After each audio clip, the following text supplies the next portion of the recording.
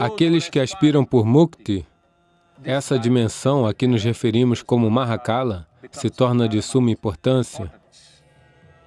O templo Mahakala, ele vai lhe sacudir da raiz da sua existência.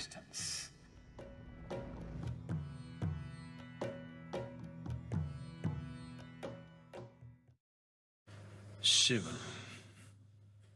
is a god who should not be named. Shiva é um Deus que não deve ser nomeado, porque nomeá-lo é limitá-lo e reduzi-lo. Ao mesmo tempo, a soma de seus muitos e muitos nomes também traz à tona um mistério indescritível de quem ele é, ou mistérios indescritíveis do que é essa criação, de suas várias formas. Kala ou Mahakala é uma forma importante e ao mesmo tempo feroz, enquanto Mahakala, ele é o senhor do tempo, enquanto Kala Bhairava, ele é o destruidor do tempo. Kala significa tempo. O tempo, como você o experiencia, é apenas o movimento cíclico da existência física. A Terra gira, é um dia. A Lua gira em torno da Terra, isso é um mês. A Terra gira em torno do Sol, isso é um ano.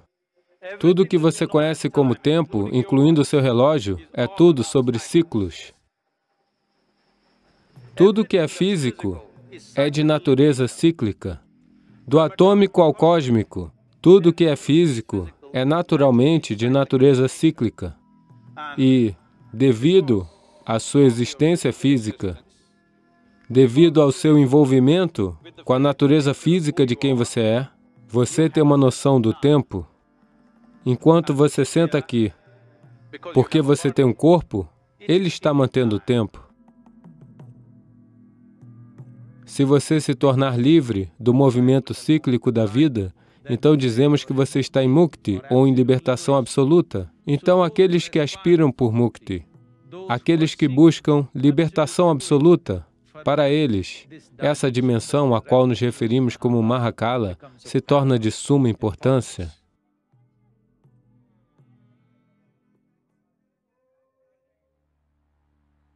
Uma vez aconteceu, o grande sábio Shukracharya, que era o guru de todos os demônios, praticou por muito tempo austeridades em louvor a Shiva. E Shiva teve que aparecer. Quando ele apareceu, Shukracharya pediu por imortalidade. Então Shiva disse, isso não é possível. Tudo que nasce tem que morrer. Peça outra coisa. Então Shukracharya disse, me dê o poder do rejuvenescimento, que qualquer tipo de ferida, qualquer tipo de doença eu possa rejuvenescer, dê-me esse poder. Shiva, sendo o curador supremo, o mestre de todas as ervas e medicamentos, deu a Shukracharya o mantra Sanjivini, the o mantra para rejuvenescer as pessoas de qualquer tipo de doença ou qualquer tipo de ferida ou lesão. Uma vez que Shukracharya tinha esse mantra Sanjivini, os demônios se tornaram excessivamente ousados e travaram batalha após batalha. Todos os demônios que caíam na batalha com qualquer tipo de ferida grave, Shukracharya apenas os revivia com o mantra Sanjivini. so Então, finalmente, o exército dos demônios pôde continuar lutando sem perder um único homem. Os deuses ficaram muito alarmados e acharam que essa era uma batalha muito injusta, porque não importa quanto lutamos, eles não morrem, mas nós morremos. Então eles foram até Brahma. Brahma interveio com Shiva e disse, você deu a esse Shukracharya esse tipo de poder, você deve matá-lo. Caso contrário, haverá um desequilíbrio completo no mundo. Os demônios têm uma vantagem injusta sobre os deuses. Então Shiva disse, não há necessidade de matá-lo, eu o conterei. Então, a batalha entre os devas e os demônios estava acontecendo. Shukracharya continuava entoando o mantra e reavivando todos os demônios de suas lesões e feridas. Então, do outro lado do horizonte, uma criatura terrível, uma ogra, cujo nome era Kritika, veio em uma forma horrenda. Ela era uma das ganas de Shiva. Ela veio e sugou Shukracharya para o seu ventre. E lá ele permaneceu, como um feto.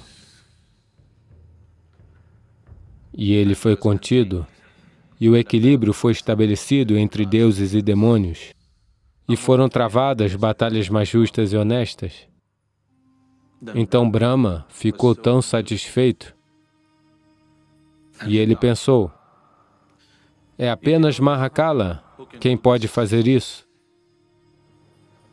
que, sem matar a pessoa, ele pode conter completamente sua vida.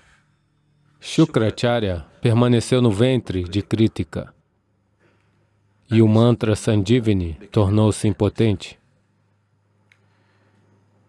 Ou, em outras palavras, Mahakala congelou o tempo para Shukracharya para que ele não pudesse seguir em frente.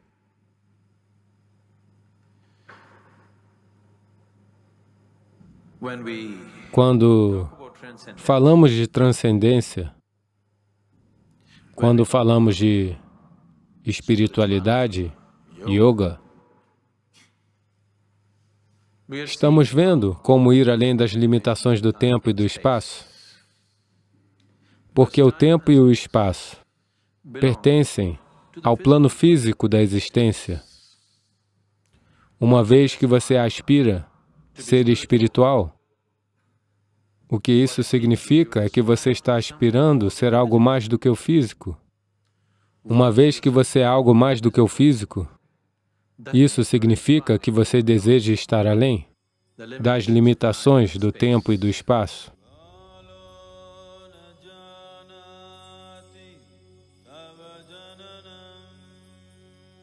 O templo de Mahakala, o linga que é consagrado lá, é de uma natureza fenomenal. Vai sacudir você da raiz da sua existência é realmente uma consagração incrível, é feito apenas para esse propósito, que de alguma forma ele o dissolva. É preciso estar pronto para entrar nesse templo adequadamente, porque é de um tremendo poder e não é para os fracos de coração. Isso o sacode por dentro. Todos os dias, a oferenda que precisa acontecer, a Mahakala, são cinzas frescas do crematório, porque é disso que ele gosta e é isso que o mantém funcionando do jeito que está funcionando. Infelizmente, eu ouvi dizer que estamos ficando tão civilizados. Agora, parece, porque alguns ativistas protestaram, eles não estão usando as cinzas do crematório, eles estão usando esterco de vaca ou de touro. Infelizmente, isso não é apenas uma questão cultural, há uma ciência nisso. Se trouxermos cinzas do local da cremação e outras cinzas, eu posso mostrar qual é a diferença entre as duas. Experiencialmente, é uma diferença fenomenal. E é muito, muito importante que esse processo continue porque essa é a natureza de Mahakala. A própria presença do que é essa Mahakala Rupa é que quando você vai para lá, tudo se vai, tudo é queimado em cinzas. Isso significa que você se torna livre do físico. Ele o impulsiona para a sua libertação suprema. Você quer fazer isso gentilmente? Nós temos tudo aqui. Você quer fazer isso de uma maneira explosiva? Você realmente quer ser pressionado com força e você não tem o coração fraco? Então, o Templo Mahakala é um processo fenomenal.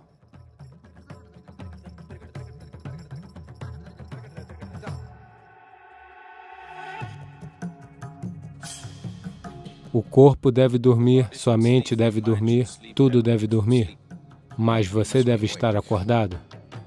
Todos os dias, você tem iluminação grátis quando você vai dormir. Mas o problema é que você está inconsciente. Você domina sua mortalidade se você apenas conseguir ficar acordado no momento em que adormece.